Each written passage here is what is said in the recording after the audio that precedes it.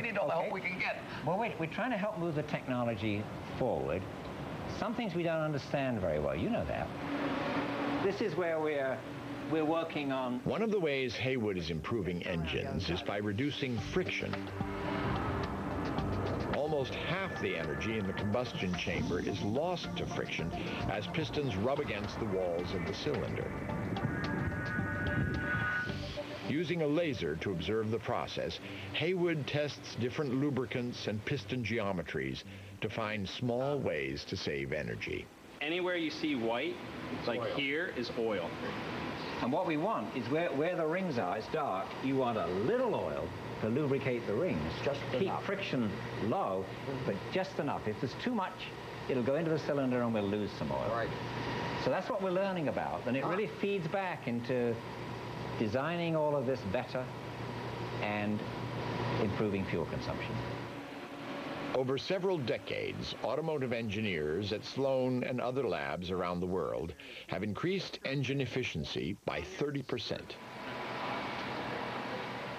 Engines and transmissions uh, have got steadily more efficient year by year by year by year by year. So it's better technology. Then the question is, what do we do with these more powerful and more efficient engines?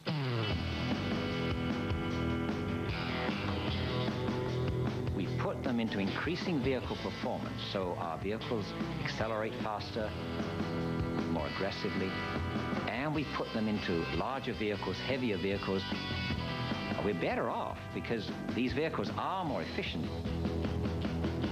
Had they not been more efficient, we'd be even worse off. But we haven't gained. We've sort of stood still. Technology by itself does not increase fuel economy. The role of technology is to enable smart regulations, is to enable reductions in oil consumption and greenhouse gases through uh, federal action, not in place of federal action. History shows regulation does increase fuel economy. After the 1973 oil shortage, Congress created mileage standards forcing automakers to build more efficient vehicles. By 1987, average mileage had increased dramatically. But that caused oil prices to fall, which in turn led to public indifference. The 1970s, the early 1980s, we doubled the fuel economy of cars. And then starting in the mid-80s, we stopped. Mileage standards remained unchanged from 1985 to 2007, and truck and SUV sales almost doubled.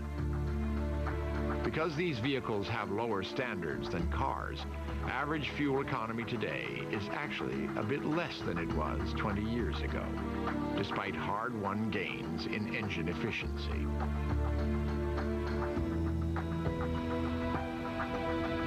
Many people buy heavy, inefficient vehicles because they feel safer.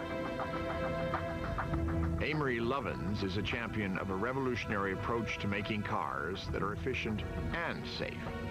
I'm a recovering experimental physicist, and I'd been thinking about the physics of cars and why are they so inefficient that, you know, your car is using 100 times its weight in ancient plants every day and yet only 0.3% of that energy ends up moving the driver. This didn't seem very good. In 1982, Lovins founded the Rocky Mountain Institute, a Colorado think tank. But, uh, Among the 50 full-time staff are a handful of automotive engineers who have helped Lovins rethink the physics of the car. Yep. One would argue if you had half the car, you would need half the battery and half the motor to push it around. And half the money to pay for it. And half the money to pay for it, exactly. Lovins realized that cars could be more efficient if he could find ways to make the engine move less weight.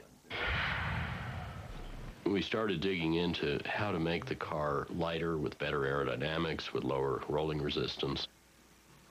We ended up concluding it was quite straightforward to triple the efficiency of a car at roughly the same cost. Lovins Group replaced the conventional auto body with 14 lightweight components that lock together to form a reinforced shell with half the weight of steel. The tapered roofline to the smooth underbody, every surface is streamlined to reduce drag.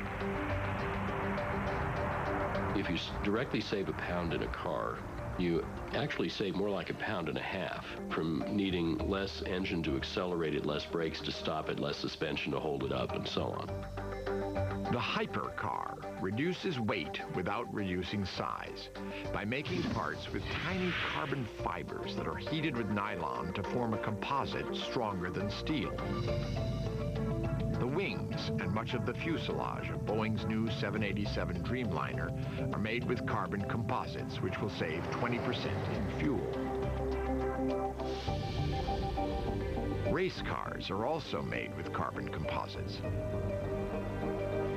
After hitting a wall at 160 miles an hour, the driver in this car walked away. How are you feeling? Uh, a bit shaken, but I'm okay, as you can see. Oh, sorry. All my bits are intact, so it's good. Goes to show how strong the cars are. With such light but strong materials, you can make cars that are big, which is protective and comfortable, without also making them heavy, which is hostile and inefficient. Therefore, you can save oil and lives, and indeed money, all at the same time. Today, the hypercar is still just an idea, embodied by this one-of-a-kind prototype sitting in the corner of Lovin's shop. Car makers have spent a hundred years perfecting ways to mass-produce cars from steel, and Lovins has failed to convince them to make a radical change in materials. Carbon fiber is expensive, and molding it into parts is labor-intensive. We'll probably evolve to that. Undaunted, Lovins is now developing machinery that can mass produce parts at an affordable price.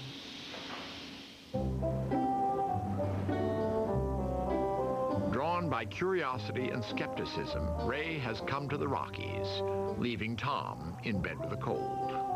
Yeah, my brother didn't want to come out here. I, I, I knew it. Too cold. He, he saw the weather forecast. Figured he'd call in sick. He had that phony little sniffle. Hey, Amory. Ray. Hey, welcome. Thanks for inviting me. Oh, pleasure. We got such cool stuff to show you. But geez, I, I'm really impressed because I thought this was going to be something like a carnival car, you know, some little tiny little thing that you Oh, have to no. get shoehorned into. This is a, a real car. This will carry five modern-size adults in comfort.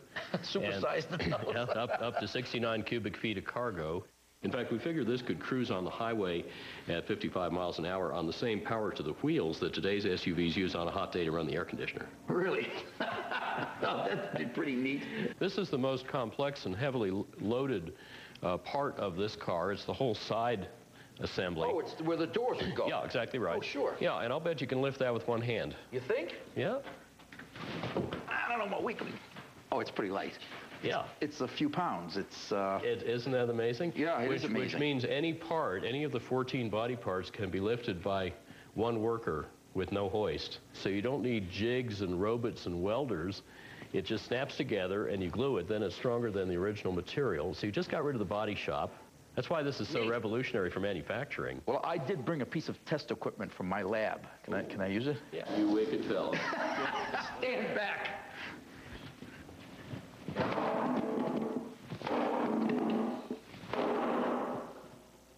Uncle. It's strong. It's strong. Jeez, and you know, there are a couple of tiny little scuffs. And then, nothing got telegraphed to the back. The back is completely unscathed. And The case for carbon fiber is very strong, but until